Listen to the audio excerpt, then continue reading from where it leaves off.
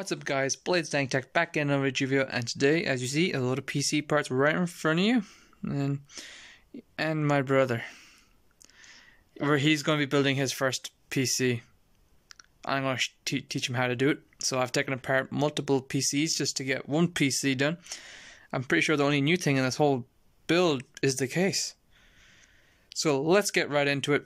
I'm going to be teaching him how to build it while also he builds his own PC because I don't want to do it. I'm kind of lazy, so he can do it. Even though this I think is more effort. So, yeah, we're going to build this guy his PC. Let's get into it. Okay, so right here we have an OEM motherboard. It came from an Acer OEM PC. Inside of it, it's a Core i3 4130, which is a kind of it's an okay CPU for budget bills and low power requirements, which is something we needed.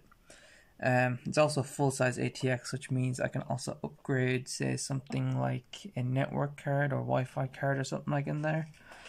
That was pretty cool as well. I wanted that, and also I wanted an OEM board that had normal motherboard uh, power connectors. That was something I really needed as well. Would have liked quad channel. Didn't get quad channel. That don't matter because our next thing is HyperX, two 4 gigabytes of HyperX 1666 memory. DDR3, yes, because this motherboard is DDR3. But these are probably one of the best DDR3 sticks you can get. Kind of. They look cool. One of the coolest ones you can get, anyway. And then right above that, you see the graphics cards. You're looking at the the awesome, the one and only GTX 750 Ti, the legendary card from NVIDIA. Sadly, this one came with a 6-pin connector at the top, but that's okay because we got a plan for that. Which leads to our power supply. So our power supply is a HP.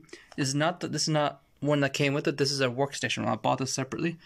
This one came from a workstation, so this one's actually 500 watts. So this is a 500 watt OEM power supply for 20 euro I got. So this one's actually pretty good. It has all the connectors, there is one problem. The PCI cables themselves are a little short. So I bought an extender that's not going to be in this video, so we're going to have to use an adapter. We're going to use one of these, but uh, yes, in future, as soon as that comes, I'm going to be putting it in. I'm not going to make a video on that, but yeah. So that's why you're seeing us put an adapter in. So this also I bought why I bought an OEM, so it came with a hard drive. So the hard drive it came with was a one terabyte WD digital WD Blue hard drive, which are pretty good. One of the best hard drives. I had ZL sticker on it. I don't know if that means it's dying or not, but it works. Um, also, and then I bought an SSD upgrade because why not have an SSD? Because they are really fast. So they make everything feel snappy, even though they mightn't be as snappy as like a really expensive PC. So I bought this one secondhand, 80 gigabyte Intel one, which looks pretty cool and is silver, kind of silver, silver, silver. It's kind of half silver built. It's more silver. You get what I mean. And then onto the case. This is the CIT K11B case from CIT, like I just said. I'm repeating myself now. So this one's kind of cool. You can it has a see-through front thing where you can put a fan, but we're not going to be putting a fan there. Uh, we also forgot the fan. The fan's in my room. I'll get that. and so yeah, has a power supply mount at the top. It's going to be up there. It's kind of an old-fashioned way of doing it, but we kind of needed it for this build so all the connectors could reach. It's full ATX. It has the see-through side panel, which we needed, but this was a really cheap case. This case cost, I think, 30 euro, shipped, two-day delivery from United Kingdom to Ireland, which is pretty cool. So yeah, it has one hard drive bay down the bottom, one SSD bay on top of that. It's kind of very minimalistic in there. That's kind of cool, but we're going to mount a blue LED fan at the very back, right there. And that's going to be the airflow going through because these parts don't need much airflow. Uh, very low powered. One little bit, one is enough. So, okay, let's get into my little brother building this. Okay, so first things first that he's going to have to do, he's going to have to take the side panels off the PC in order to get them done. So he's going to do that right now. So the front of it, it's just screws, four screwy things. He can do it. We're doing it? Yes.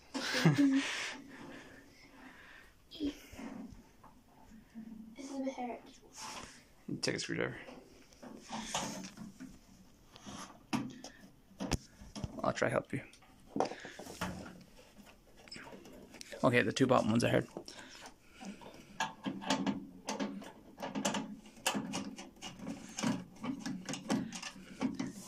This is where the cheapness of the case comes in.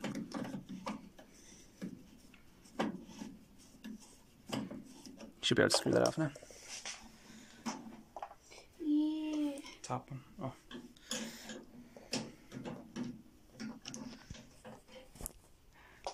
Let's just snap my fingers and come back when, uh, yeah, he has all the side panels taken off because he's slow as shit.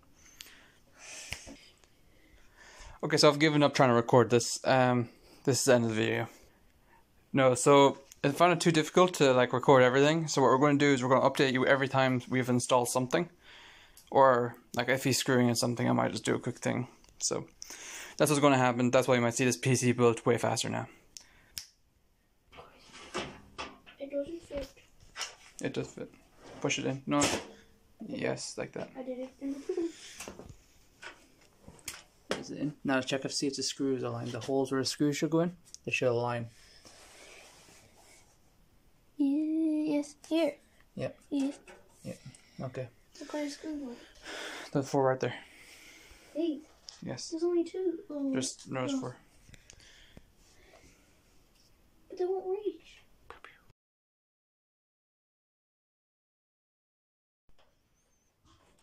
Yes. That was easy as cheese.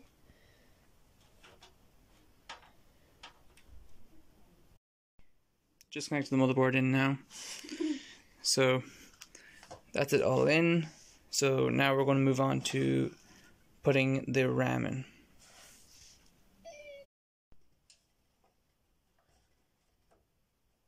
Didn't you? Well, I have to push it down, don't Yep. How hard?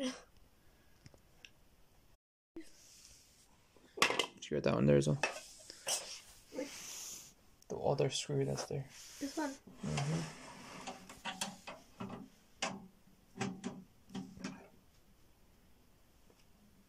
What? Hold it. You have two hands. How can I hold it? It's on. It comes up from the other side. This. Oh, it isn't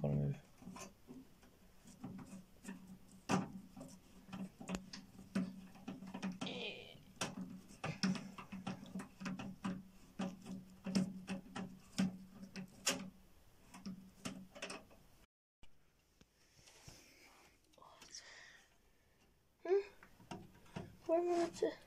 Oh, it's kind of already in. In the back. Oh, shit. I gotta put. Make sure it's all in. Is it in? I don't know if that's in. Okay, that's in. Do I fit this up the thing behind the white yoke? Yes, flip that up. Can you, re- can you hit it? No.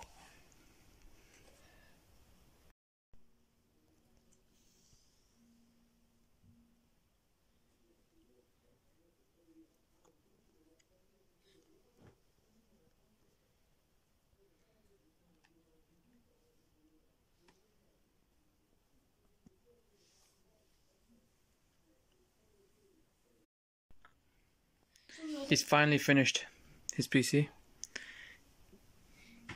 It's just, it would have been good, except for the case was kind of shit. Everything was going fine, but then the case was kind of shit. If you get what I mean? Shit. Yes. No, it actually it looks pretty good. Everything's good about it except for the motherboard. It uses mandatory parts, mandatory screws, which is a bit weird. I don't know why. Um, cable management, cable management was a bit iffy. The there's only one hard drive slot, which is not too bad. We only have one hard drive, but if you ever wanted more, there's no more than that. The back fan, you need to orientate your fan in a weird position. Um, it just was really cheap. The power supply didn't really fit in right. To really try squish it in, the screws weren't in the right places. And for having ca- no very little cable management, if you wanted good cable management, you need to have the wires coming through the SSD holes, which means you can't mount your SSDs, which we have a problem because if we look in here, that cable, that SSD is not mounted. It's just it's just sitting there because two reasons. One of them was the power cable for a GPU wasn't long enough, so to make a a different plan. So that was the other plan, but also the cable management for the hard drive mm, interfered with the with the SSD screwing in. Other than that, this went on pretty well. We've already test booted everything works fine.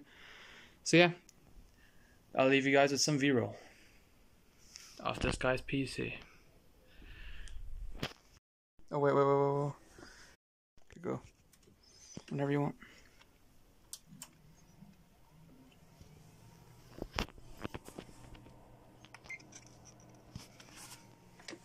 I say? Ooh.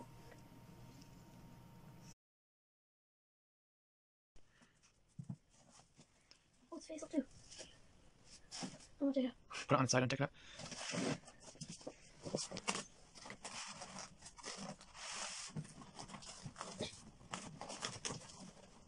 Oh. On camera, sit Huh? On camera. Sit down. Sit on them.